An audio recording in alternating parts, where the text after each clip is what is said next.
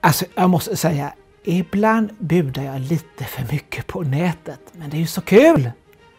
En gång försökte jag köpa den matta som hade legat i matsalen i Biskopsgården i Växjö. Men jag förlorade. Jag skulle inte förvåna mig om det var biskop Åke i Skara som slog mig.